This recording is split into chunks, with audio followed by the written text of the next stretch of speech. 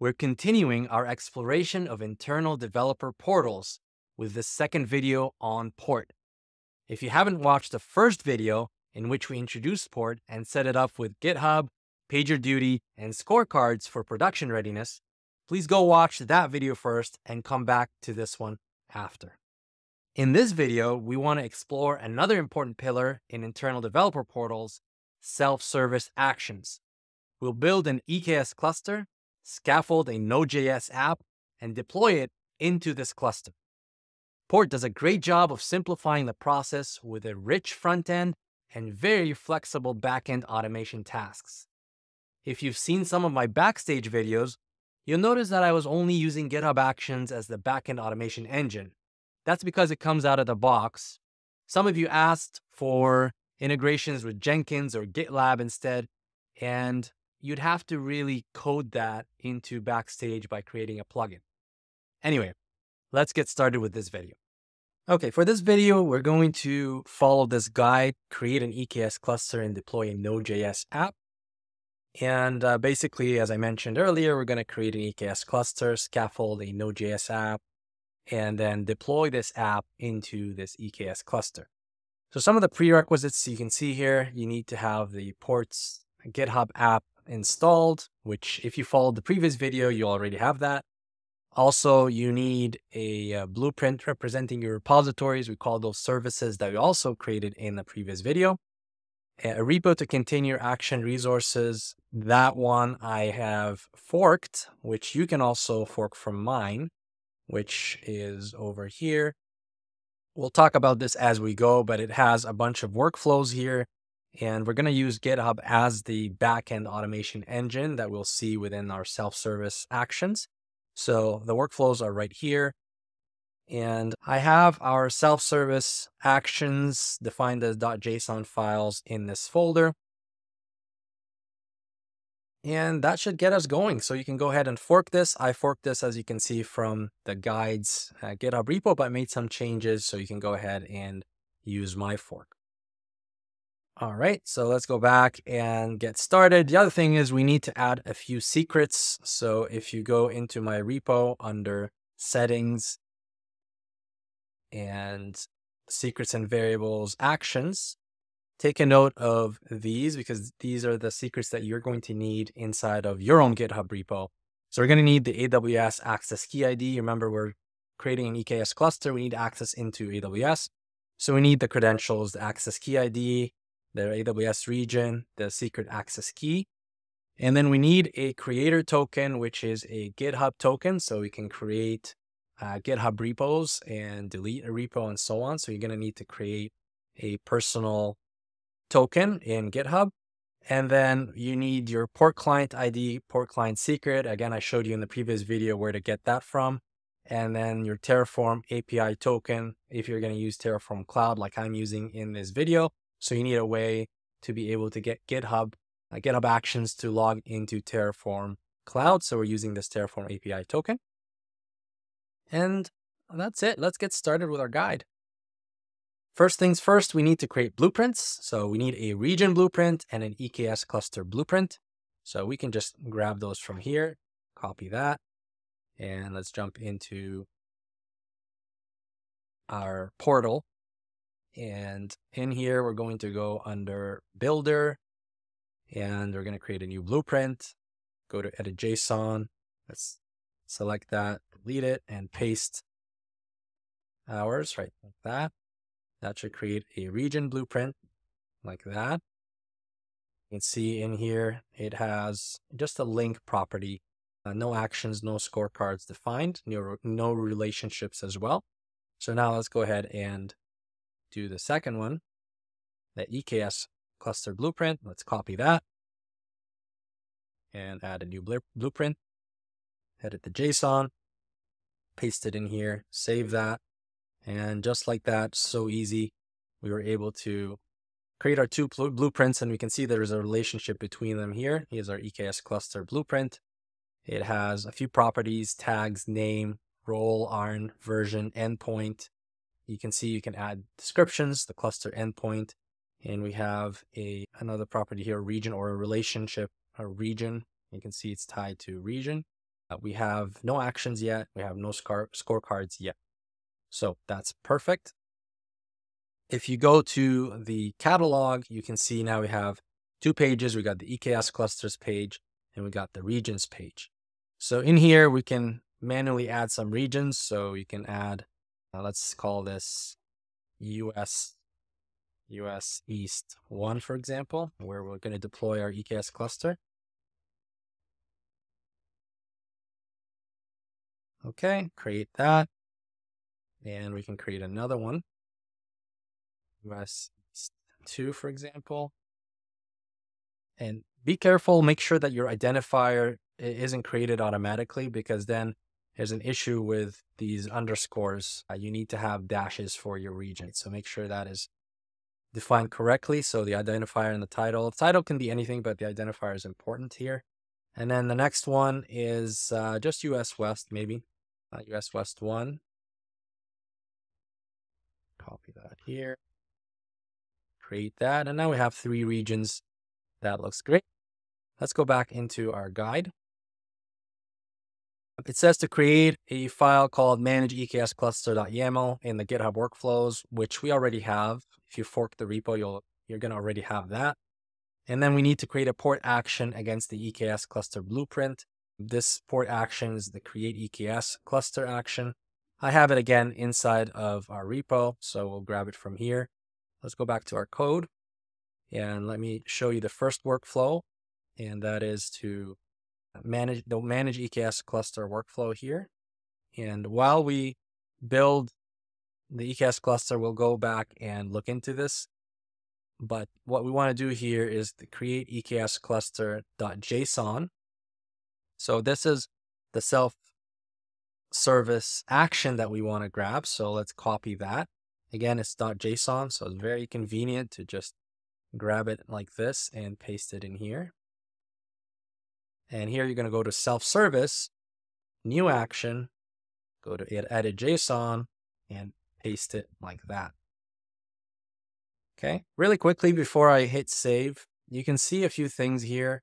Oh, this is the identifiers EKS create EKS cluster. Titles create an EKS cluster. We give it an icon, Amazon EKS, description. And then we have a few user inputs. So we've got the cluster name and we've got the region here that you need to uh, provide as a user. Remember, we're building this for our users. In this case, our users uh, might be developers or they might be also other platform engineers that we we're building for, depending on the scope depending on the permissions that you're going to give inside of port. So both cluster name and region are required, and this is the order we want them in. The blueprint identifier is EKS. The invocation method here really is the workflow inputs that are going to get passed to GitHub Actions. Because remember, we're right now building the front end, and the front end needs to pass the inputs that the user is going to put in to our backend, which is GitHub Actions. Okay, and here our, our what we're saying is that our backend is actually GitHub, and I'm pro providing my organization name. You'll need to change this, and also the repo where this lives in, where the actions, the GitHub actions live in, which is my repo here. And you can see this is the repo name. This is where all my GitHub workflow actions live. Okay. Uh, here we have some conditionals on the inputs that we can see, and we can grab a few things out of the inputs out of the payload, which is really interesting. I'll show you later. There's also a port payload that you can send along to GitHub Actions, which is really neat. And you can grab quite a few things like the, the status is triggered, resource type is run in this case, uh, who triggered this, um, which is me in this case from port uh, some context, what blueprint, what entity is being sent, uh, the run ID, uh, and a few other things. Here's another payload that's under port payload that's giving also more information. And all this can be, you can parse it in GitHub Actions and do all kinds of things with it. Okay, so that's it. Let's save. Perfect. And now we have our create an EKS cluster, as you can see. And you can go ahead and edit that. You can edit in JSON, which we just did or you can edit in the form of a form. You can see here the icon that we use, the blueprint that we're tied into, the EKS cluster blueprint that we just created. the user form here. We've got cluster name is a string, region is an entity selection, which is great because we've already created three regions. So from an entity selection, it knows what regions are entities inside a port that we can grab from, which is very cool. That to do this is much harder in, in Backstage. And then you can see the backend portion. The invocation type is GitHub workflow. There's a bunch. So we've got triggering a webhook URL, which is like a catch-all last resort. You can just send a, a webhook somewhere. You can send the, if I click that and you can see what we can do, we can send the post method, a delete, a patch, a put, and uh, you can send this anywhere. You can trigger a pipeline somewhere, right? If, if it's not covered by GitLab, Jenkins, or GitHub, we have also Azure pipelines, right? There's also a Kafka topic. So a lot of flexibility here. And again, if and none of these work for you, then you can just issue a webhook out to another URL somewhere else and uh, you're good to go. So back to our GitHub workflow. Now that I messed this up, let's cancel out of here. This card changes and let's go back in real quick. Oops. Edit this. So you can see here, once again, my organization, my repository, the workflow file name that's going to get issued, which is the manage EKS cluster.yaml, which is this one here. So basically, we're going to trigger this in the backend. We're going to trigger this particular workflow in GitHub Actions. And now let's go ahead and create our EKS cluster. So you just click create. Now we're a user, right? So we're a user of this self-service action. So the cluster name, we can call it something here. I will call it dev EKS maybe, or just dev. Select the region. I'm going to use US East 1, execute. And you can see on the right hand side here, we've got creating this or creation in progress. Click on create an EKS cluster. And you can see it started a few seconds ago. We have a job link. We've got some log stream here, which is neat. Initiating the creation of the EKS cluster dev affected entities, don't have anything here. You can see the form inputs. So these are the inputs that came in when I submitted, right? Cluster name was dev.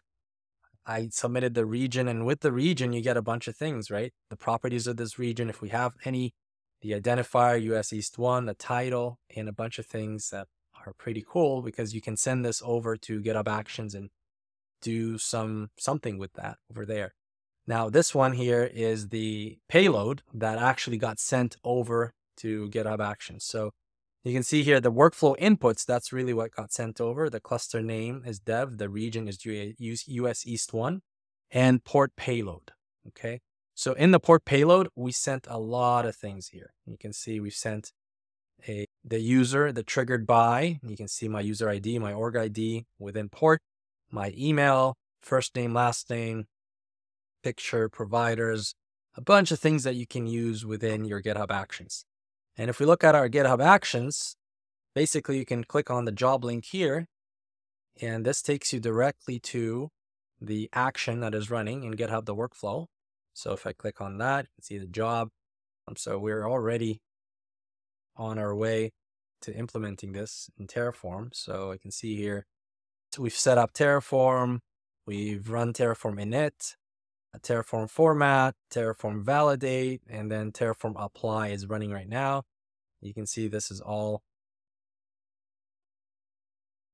all the things that are going to get created, a bunch of resources. These are all being built right now. Right, so we're in the middle of building our EKS cluster with Terraform. And I am using Terraform Cloud for this, and I'm using it in CLI mode and also in local mode. So if I go into Terraform Cloud, if you're interested, we can go into our workspace and I'm also, I'm already in the workspace and you can see the execution mode is local, which means that everything is run inside of GitHub Actions. I'm not using any of the runners inside of Terraform Cloud. I'm just using Terraform Cloud to, to store the state file there. That's it. So we'll wait until the, the cluster gets created, and then we're going to start working on scaffolding our Node.js app. But in the meantime, I want to show you my uh, Terraform code real quick, just to get an idea of what's going on. So if you go under Terraform, the Terraform folder, uh, there's only four files. We've got the terraform.tf file, which has a few providers. Here I specify Terraform Cloud and the workspace that I'm using Terraform Cloud. And then here I've got the providers that we're using. So AWS, Random, TLS, Cloud Init, and Port. So Port has a Terraform provider, which you would expect from any uh, decent offering that you would have some sort of integration with an infrastructure as code offering like Terraform. So you can go ahead and take a look at Port's uh, provider in the Terraform registry. So if you go into Terraform registry and just type port, something like that. Here, let's go into Terraform registry and let's look up port. It's called Port Labs. So here we go, Port Labs, and we have a provider for us here. You've got the documentation. You can see all the resources that we can create. And we're going to create this ports, uh, this port entity in here. So we're going to, I'm going to show you uh, what we're doing in just a minute. So if you go into our Terraform main.tf, you see uh, the provider AWS and the provider port. And all this I've done before in uh, when we created the EKS cluster with, with Backstage. So nothing new here. We're creating or we have a module EKS, we have a module VPC, and we've got a module IRSA EBS CSI for CSI add-on. Here's a CSI add-on you can see. And, and then we've got this new resource, which is a port entity resource. And uh, you can see here the identifier, the title, the blueprint, and a few other things, which is really cool because once this is complete, we're going to have an EKS entity inside of Port that you'll see that's, uh, that's created here directly from Terraform, which is amazing. Uh, finally, we have an outputs, of course, an outputs file that's typical, and we have a variables file as well. You can see we have a port run ID that we're that we can feed in if we wanted to. So that's also available to us. Now, finally here, what makes all the magic happen in the backend, which is the actual GitHub action workflow itself. This one's called Manage EKS Cluster.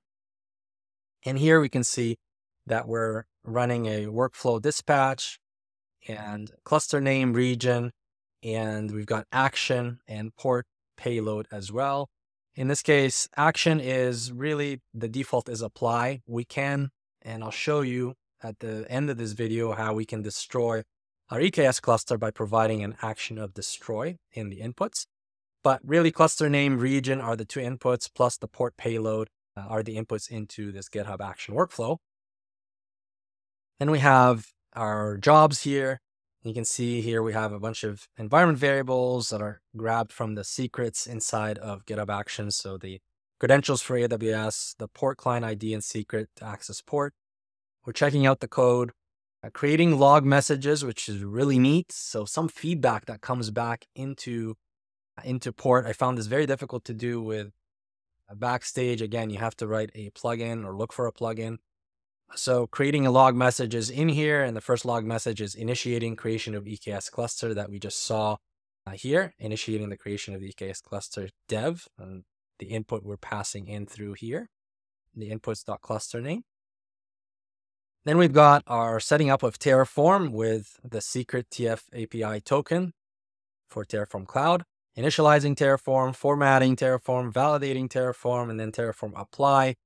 And you can see we're running Terraform apply auto approve. And here we've got the environment variables that we're going to run with. So the cluster name, the region, and the port run ID, we're providing those as TFVAR environment variables into Terraform. We also have a Terraform destroy here, which we're not using in this particular instance. And at the very end, we have a create a log message post action that, uh, that will give us a, uh, once again, a log message. EKS cluster creation has completed and gives us the name of that cluster. All right, so let's see how far we've gone. I think we're still creating this. This takes about maybe 25 minutes to 30 minutes to get our EKS cluster up and running. So we'll pause the video and come back once this is ready. We have completed successfully here. Terraform is done. added 63 resources. Here are some of the outputs, the cluster endpoint, cluster name is dev, cluster security group ID, region, and that's great. So GitHub Actions is done. If we go back into our create an EKS cluster self-service action, we can see that it is also successful and we have finally EKS cluster creation has been completed. So that uh, that is done. Perfect. And we can go back and look at our catalog and inside the catalog, we have the EKS cluster. We can see the identifier here. So this entity has been created. And again, the identifier, which is the, the ARN, uh, the role ARN is right here as well. We have US East is the region. Here's our endpoint uh, for the cluster. So all this information got brought into port, which is really good. And this was again using the Terraform port provider in here. We're able to feed this information into this entity. And if we go into the AWS console, we can see our dev cluster is created. As you can see here, we've got all the information about the cluster, resources, compute. Our add-on is also available. So that's pretty neat. Let's continue with our guide. Now we want to scaffold a Node.js app. We're going to scaffold it first with all the files that it needs. And then finally, we're going to deploy the app onto this EKS cluster. Okay, so let's go ahead and create a new action. So we can do that by going into our port scaffold and app.json file here. Let's copy that. And let's go in here and create a new action. Edit JSON. Let's paste that in here. And let's save it. And that creates a scaffold app. And notice that there are three really three categories. It's a create action, day two operations action, and then a delete action. So we've categorized it into those three categories where if you're creating something for the first time, that's a scaffold, that's a create action. If it's a day-to-day operation kind of thing, you'll, you'll put it under day two operations. Or if you're deleting a repo, deleting the EKS cluster that we'll see later, you can put it under the delete actions. So let's go ahead and take a look at what this built for us, the scaffolding app. And here we have, again, the create action that I told you. So you can choose day two, delete or create. We're tying this to the service blueprint. And you can see the form that we have here, the project name, the repo name, a template, a description. From the backend perspective, we're using GitHub Actions again, a workflow. And I'm specifying once again my org name, my repository name, and the workflow file name, which is scaffoldapp.yaml, which we'll see in a little bit. And then finally, the inputs that you'll expect into the GitHub workflow, right? So I've got the project name, repo name, template description, and the port payload as well that I want to send over. Okay, let's go ahead and scaffold our app. Hit create, project name, my new cool node app repo, my cool node app, let's say. and then choose a value Node.js. There's Python also, but we're choosing only Node.js here because I haven't wired anything for Python, just left it there as a placeholder. Description, this is my first Node app. Execute. And notice that it created a scaffolding app here and uh, it's already gone through and finished our GitHub action. You can see the log here, my new cool node app, creating ECR repository, creating repo for the app, committing the new app files, and then finishing the scaffolding. Once again, you can view the inputs that we pushed to GitHub Actions. You can see the payload as well. And we can go into the job links and we'll see the actual GitHub action has completed successfully. If we go back to our catalog, we can see under services, last updated, my cool node app shows up here that we just created. So we can go and jump into the URL. And from here, you can see a bunch of things here. We've got a manifests folder. In the manifests folder, we have a deployment.yaml, And here, everything is filled in. We're using something called Cookie Cutter. We'll show you in just a minute. But you can see the deployment has a name, replicas. All this is ready to go, so we can deploy this into our EKS cluster. So there's also a service for us as well. And it's using type load balancer. So that's great. We can see a bunch of other things like the Docker file that's used for this node applications is all set. A, README file, even an index.js, the package.json. All this is ready to go with a port.yaml that allows us to attach this as an entity, which we just saw inside of port. But this is basically showing you the workflow that a developer will use. They can just hit the scaffold action and they scaffold a new Node.js. And as platform engineers, you can specify a golden paths in terms of how we as an organization build Node.js apps. This is how we do it. And we already have certain deployments ready to go. And then the developers can use those scaffolded apps and deploy them into an already existing EKS cluster, for example, or uh, another Kubernetes cluster. Okay, now let's take a quick look at some of the configuration for the scaffolding app. So if you go back to our code here, you can see we have this app templates folder. And uh, in here, we have this README for cookie cutter templates for new projects. You can go through and read about it. But in here, we have our Node.js. We have a cookie cutter.json file that you can see here. It has some defaults. Uh, and then we've got a cookie cutter uh, folder here. You can see what we saw before. So we got the uh, mm-hmm. Docker file. We have, and this is what got pushed into our new repo. We have a README here, and you can see the cookie cutter template. You can that this all gets replaced, and we've got our uh, index.js file. We have our package.json and uh, port.yaml. And again, the cookie cutter template here, all this gets replaced. And our manifest, same thing. We got a deployment with the template and the service.yaml with the cookie cutter template.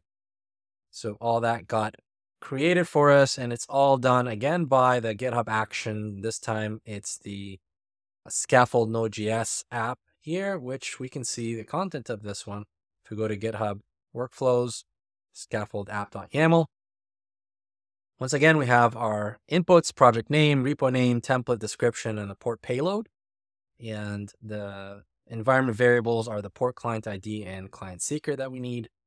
Here we're creating a log message that we've started the job here, starting the scaffolding of the app, checking out the code, check if the repo already exists. And here we're creating a log message, again, creating the ECR repository. So we're creating an ECR repository in AWS, configuring AWS credentials, logging into the AWS ECR, creating the ECR repo here, as you can see, running the cookie cutter.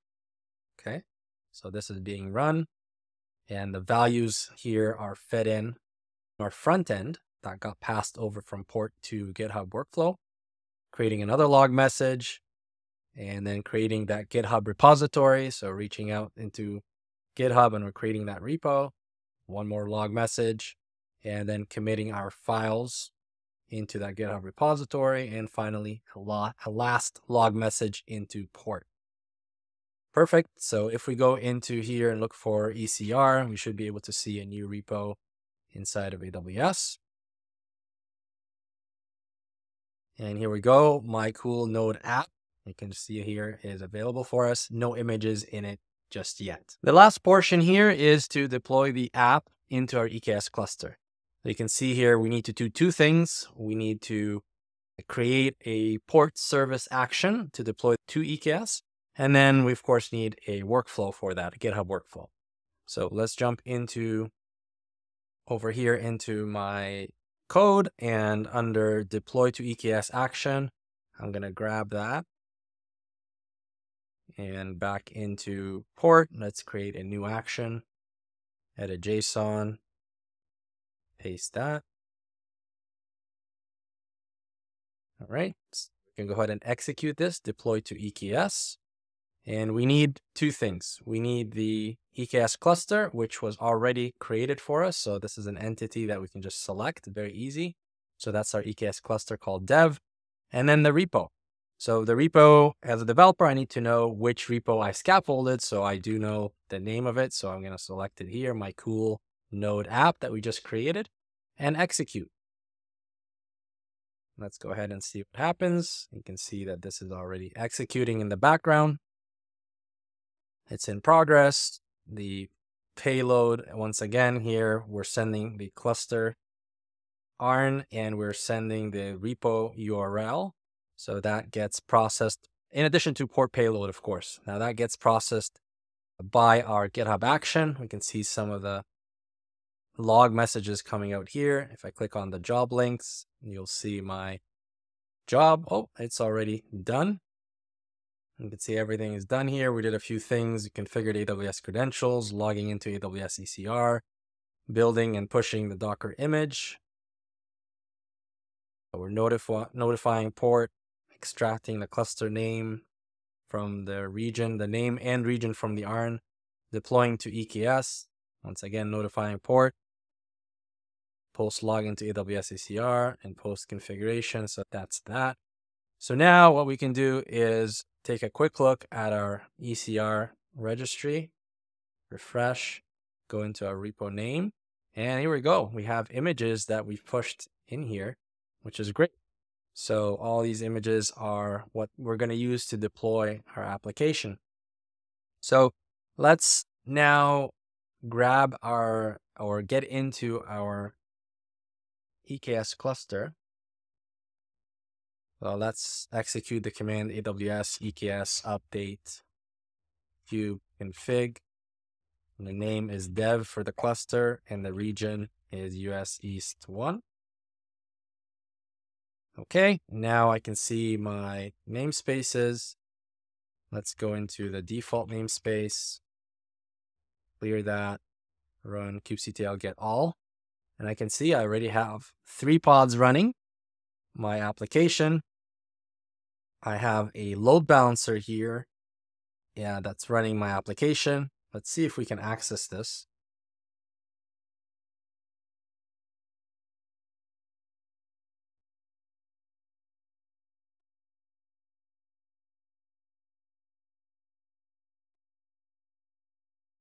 There you go. Here's our brand new cool Node.js app giving us a hello world. But this is already installed, deployed. Everything is running very nicely. And from this point on, your the developer now has a fully deployed application with the scaffolding. They have a GitHub repo. They can start to work with that. And uh, every time they need to deploy, they can just run the deploy once again, and they're good to go. One last thing is we can actually delete the cluster similar to the way we created it. So you can create a new action and you need the JSON. And from here, we have it actually under uh, port delete EKS cluster. So you can grab this, go back in here, save that and it will show up under delete actions, delete an EKS cluster, click delete, choose our dev cluster, region is US East 1, click delete. That should start off our process here. And of course, again, this is going to send the job over to GitHub Actions, and we can monitor it here You can see the payload once again here. The cluster name we're sending is dev, the region US East 1, and the action here is destroy. I have this already created within the self-service action, so we don't have to ask the user to put it in. And then we can take a look at our GitHub action. Here's the job that's running, and we're running, we can see Terraform destroy already, and that's going to go ahead and destroy our cluster with the VPC and everything we created with Terraform, it's going to get destroyed. And the important part is also that inside of our catalog, if you go back to the catalog, the EKS cluster itself, as you can see, got destroyed as well. So because Terraform is reversing everything that it did in the beginning when it created it, it's removing this as an entity within port itself. This brings us to the end of this video. As you've seen, it's quite simple to wire up different backend actions to Port's rich frontend. We built an EKS cluster, scaffolded a Node.js app, and deployed it to the cluster. I love the feedback loop that we get very easily with Port in terms of firing an action in the backend and getting feedback in the front end, which is harder to do with Backstage. In our final video, we'll discuss the integration with Argo CD.